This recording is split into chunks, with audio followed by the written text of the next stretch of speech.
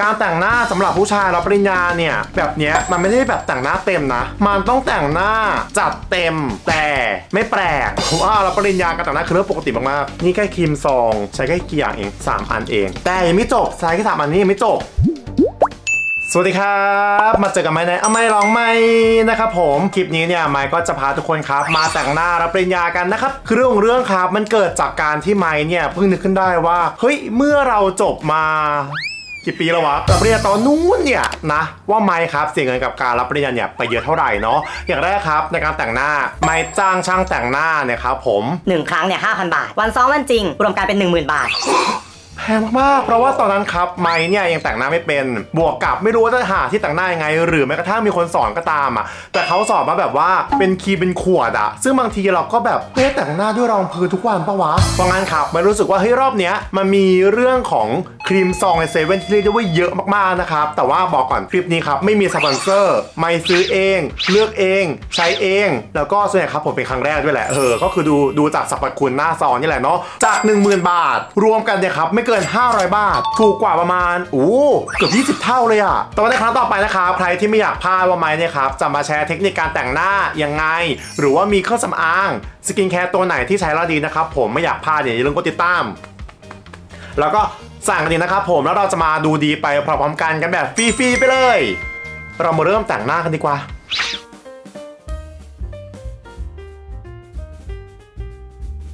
ซึ่งอันนี้ครับคือหน้าสดหลังจากล้างหน้าใหม่นะครับก็จะเริ่มกันตั้งแต่ครีมบำรุงเลยเนาะด้วยความที่รับปริญญาใส่เสื้อขาวใช่ปะให้เราเอาตัวนี้ครับผมมาพันไว้ที่คอ หรือว่าใส่เสื้อตัวอื่นมาก่อนนะครับผมเนาะรองพื้นอาจจะมาโดนที่คอได้นะครับครีมบำรุงครับอันนี้ไม่นับเป็นหนึ่งใน budget นะ เพราะว่าทุกคนครับต้องมีครีมบำรุงอยู่แล้วนะแนะนำให้ทาครีมบำรุงที่มีส่วนผสมของมอยเจอไรเซอร์หรือว่าชุ่มชื้นครับ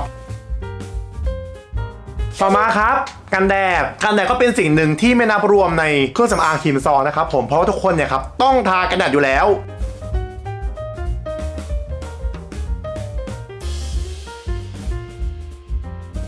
เห็นปะ หน้าเราเนี่ยครับก็จะเริ่มชุ่มชื่นขึ้นแล้ว ตัวแรกที่ไมค์จะใช้ครับผมคือตัว primer ตัวนี้เลยครับนี่ primer ตัวนี้นะครับที่ไมค์เลือกตัวนี้ครับเพราะเขาเขียนไว้ข้างหลังว่าบำรุงผิวกันแดด primer รองพื้นเนาะซึ่ง primer ครับผมใช้เพื่ออะไร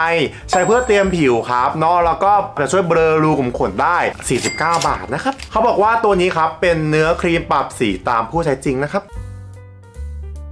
ให้เรานะครับ primer ค่อยๆ ทานะ อันนี้บีบเยอะไปเอากลับไปก่อน ค่อยๆ ทาพาเมอร์นะอย่าทาเยอะมากรอบแรกอะ่ะ แล้วก็มีการวอร์มนิดนึงนะครับ ให้เราแบบค่อยๆ ทาไปนะคือถ้าเกิดใครมีงบเนี่ยมีแปรงก็ใช้แปรงนะครับ แต่ว่ามันจะใช้ในงบจำกัด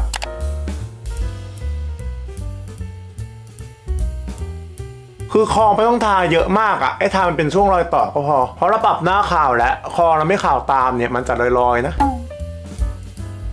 primer ครับสิ่งสำคัญคือต้องรอให้ primer แห้งก่อนนะครับเราค่อยลงตัวอื่นเนาะตัวต่อมาครับจะเป็นตัวรองพื้นนะครับผมรองพื้นเนี่ยไมค์มี 2 ตัวนะ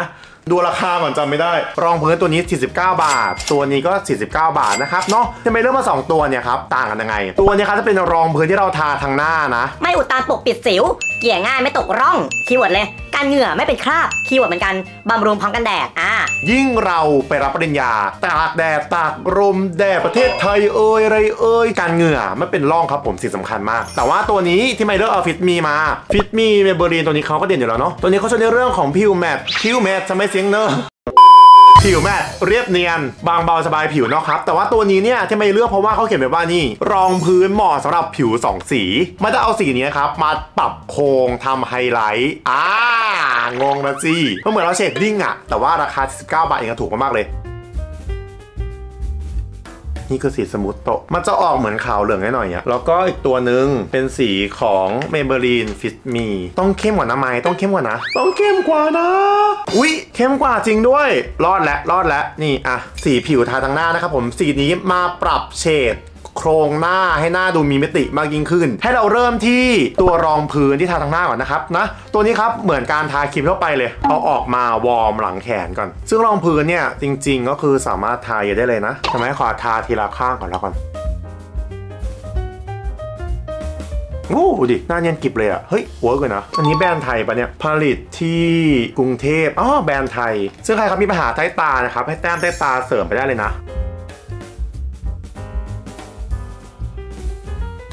ต้องยอมรับเลยว่าเมื่อใช้คำว่าติดทนปุ๊บเราก็ต้องล้างหน้าให้สะอาดนะครับเพราะถ้าเกิดสมมติว่าเราแต่งหน้านะครับแล้วเราไม่ล้างหน้าให้สะอาดเนี่ยอาจจะกลายเป็นสิวได้ แต่ถ้าเกิดเราล้างหน้าสะอาดคลีนเซอร์ด้วยออยล์ตามด้วยน้ำล้างหน้าด้วยโฟมล้างหน้าตามไปเนี่ยยังไงก็ไม่เป็นสิวหรอกเนาะที่สำคัญคือต้องล้างหน้าตามแนวพงขนที่ไม่เคยสอนไปนะครับเราก็ทายฝั่งหนึ่งเพิ่มไป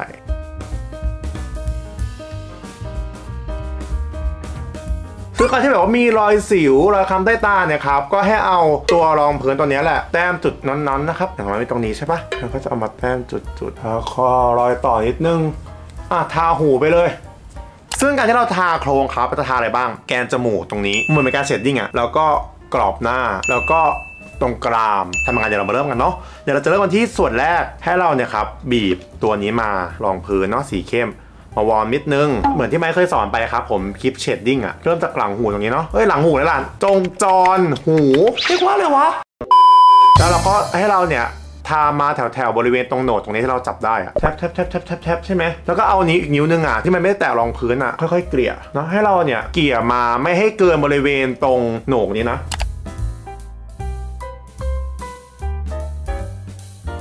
แล้วก็เกี่ยเกี่ยลงมาข้างล่างล่างล่างล่างล่างล่างล่างนิดนึงเนาะหน้าเราก็จะเริ่มแบบเนี่ยมีมิติมากยิ่งขึ้นเนาะให้เราแท็บอันนี้ครับ แตะตรงโหนกแล้วก็เอาลงมาแถวนี้ วอร์มข้างหลัง ตรงนี้ลงมาเห็นปะตรงโหนกปุ๊บให้เราลงมาอย่างนี้ แล้วก็เหมือนเกียร์เกียร์เกียร์เกียร์อย่าถูกอีกนะให้เราตบตบอย่างนี้นะตบแล้วเกียร์อย่าตกใจไปนะเกียร์ไปก่อนนะ ต่อมาครับไรจมูกทีนี้ไรจมูกครับ ให้เรามาระวังนิดนึงเนาะอย่าใช้เยอะมากเกินไป ให้เราเนี่ยครับค่อยๆแท็บมานิดนึงแล้วค่อยๆไล่มานะครับให้เราไล่มาจากตรงหัวตาเนี่ยครับมาถึงปลายนี้เลย แตะเป็น 3 จุดแล้วเอาอีกนิ้วหนึ่งครับที่มันไม่มีรองพื้นเนี่ยเอามาเกลี่ยซึ่งการเกลี่ยครับให้เราเกลี่ยลงมาอีกใช่ปะแล้วแท็บไปทางด้านแก้มอะอย่างเงี้ย เอออย่างนี้นะค่อยๆแท็บไปนะ แล้วก็ไปแท็บหัวตาด้านนิดนึงพี่เพิ่งตกใจไปครับ แต่งไปก่อนเดี๋ยวมันอ่อนเองเอออีกอันหนึงครับ ถ้าเกิดใครอยากให้แบบว่ากรามชัดเนี่ยให้เรานะครับเอารองพื้นเนี่ยครับ แตะเห็นปะเห็นข้างใต้นี้ปะมันจะมีโครงกระดูกให้เราแต้มไปอย่างนี้เลยอย่าเอาไว้ข้างบนตรงนี้นะ เอาไว้ข้างล่างกระดูกนี้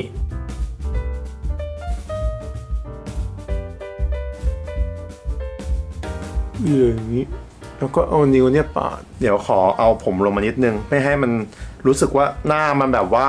สว่างขนาดนั้นเห็นปะเอาผมลงมาปุ๊บมันจะเริ่มดรอปแล้ว ซึ่งการแต่งหน้าสำหรับผู้ชายรับปริญญาเนี่ย แบบเนี้ยมันไม่ได้แบบแต่งหน้าเต็มนะ มันต้องแต่งหน้าจัดเต็ม แต่ไม่แปลกเพราะว่ารับปริญญาการแต่งหน้าคือเรื่องปกติมากๆนี่แค่ครีมซอง ใช้แค่กี่อย่างเอง 3 อันเอง แต่ยังไม่จบใช้แค่สามอันนี้ยังไม่จบ แป้งก็สำคัญนะครับผมแป้งเป็นตัวหนึ่งที่ควรที่จะมีแป้งติดตัวไว้แหละเนาะเออแต่ถ้าเกิดสมมติว่าใครไม่มีติดตัวครับแม่ก็ใช้ตัวเนี้ย Intuit Men Oil Control ตัวนี้เป็นทารูเซนเราทารองพื้นไปแล้วเนี่ย ตัวแป้งครับผมแนะนำไม่ควรใช้แป้งที่ผสมรองพื้น เพราะว่าเนี่ยแป้งผสมรองพื้นเจอกับรองพื้นอีก มันจะยิ่งทำให้สีรองพื้นนะครับผมเพี้ยนไปเพี้ยนมานะครับแนะนำไม่ใช้แป้งทารูเซนก็เพียงพอเนาะตัวนี้เนี่ยจริงๆมัน200กว่าบาท แต่ว่ามันซื้อมาในช่วงโปรที่วัสันน่ะมันแล้วก็9บาทเองอะเวลาทาครับนะ เราสามารถทาได้ทั่วใบหน้าเลยเนาะเพราะว่า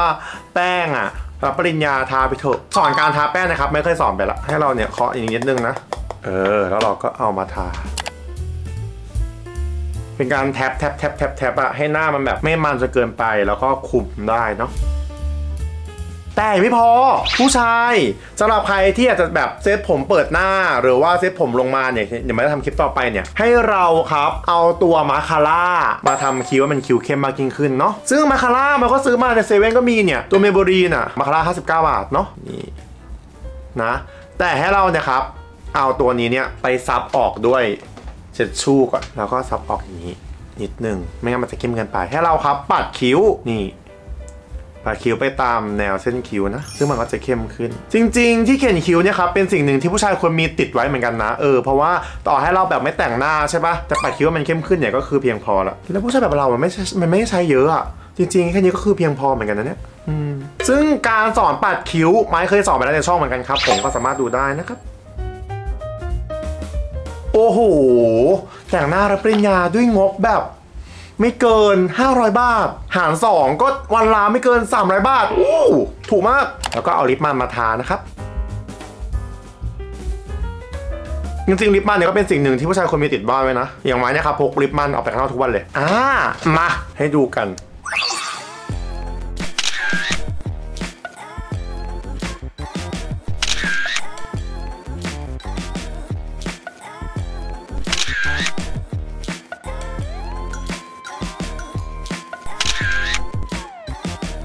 เป็นไงกันบ้างครับสำหรับผิวหน้าลุครับปริญญาในวันนี้ นี่หน้าเรียบเนียนมีมิติมากยิ่งขึ้นปะบอกเลยว่าแต่งหน้าด้วยแค่ครีมซองที่มีขายในเซเว่นรวมแล้วเนี่ยราคาไม่ถึง 500 บาท ก็สามารถแต่งหน้าลุคนี้ได้แล้วเห็นปะ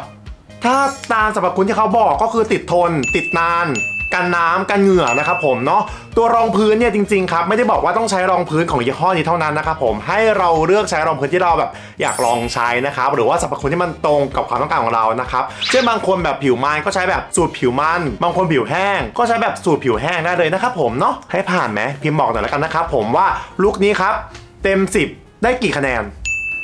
ส่วนคลิปต่อไปครับที่มันอยากจะทำต่อกันเลยนี่แหละครับ ผมคือคลิปเซตผมรับปริญญา ไม่อยากพลาดก็สามารถกดสักระดิ่งรอได้เลยนะครับ ขอให้ทุกคนนะครับหลังจากที่เรียนจบไปเนี่ยครับใช้ชีวิตอย่างมีความสุขนะครับผมเพราะว่าชีวิตหลังจากเรียนจบเนี่ยครับคือชีวิตจริงแล้วแหละนะไม่ว่าจะเกิดอะไรขึ้นนะครับผมไม่ว่าจะเป็นเจอเรื่องหลากหลายมากมายเข้าไปในชีวิต ให้คิดไว้ว่า